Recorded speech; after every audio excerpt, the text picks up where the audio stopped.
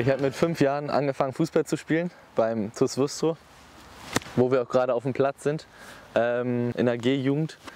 Bin dann, äh, habe dann da zwei Jahre gespielt, dann bin ich in die nächste Jugend reingekommen und ich bin schon mein ganzes Leben beim TuS Wustrow, ich bin hier noch nie weggewechselt.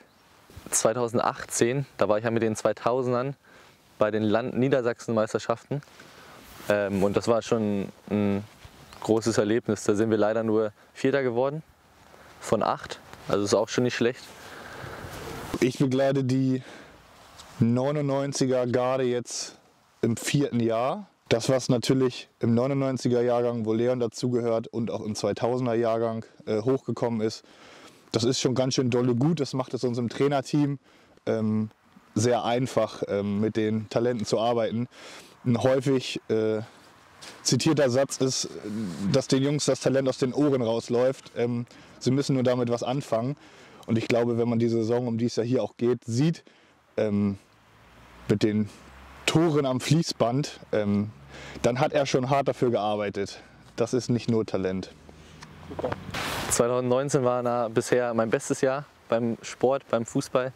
Ich habe mich weiterentwickelt, wir haben uns weiterentwickelt als Mannschaft. Wir sind fitter geworden, ich bin fitter geworden.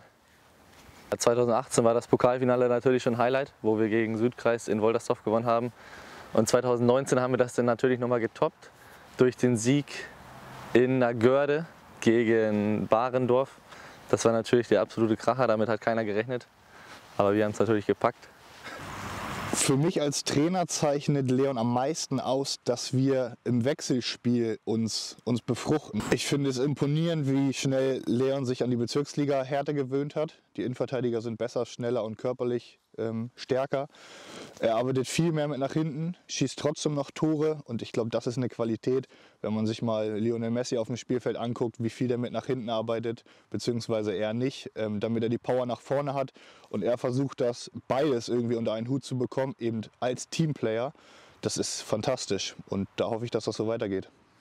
Ja, die letzten drei Jahre, wo wir auch einen neuen Coach bekommen haben, Niklas Bönsch, haben wir uns natürlich sehr weiterentwickelt. Wir sind besser geworden. Wir haben das Angriffsspiel verbessert. Wir sind im Pressing besser geworden. Wir stehen höher. Wir schießen mehr Tore vor allen Dingen. Unsere Abwehr ist stabiler geworden. Großes Kompliment nochmal dahin.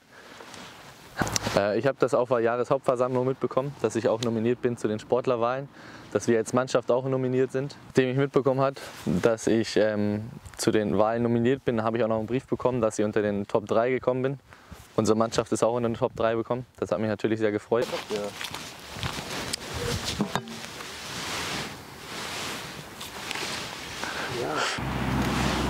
Ja, vielen Dank nochmal an alle Wähler. Ich freue mich sehr, dass ich Sportler des Jahres 2019 geworden bin. Herzlichen Dank. Dankeschön.